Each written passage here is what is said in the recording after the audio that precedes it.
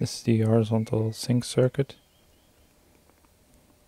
It uses a LM1881 and the color burst uh, signal of the LM1881 um, is um, high when there's no color burst and low when there is.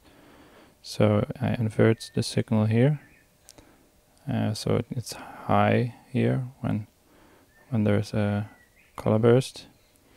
And then uh, at the beginning of each uh, scan line, I send a signal from the Atmel. And then if they if this one is high here and this one is high, the signal goes through and it it gets stored in here in the um, capacitor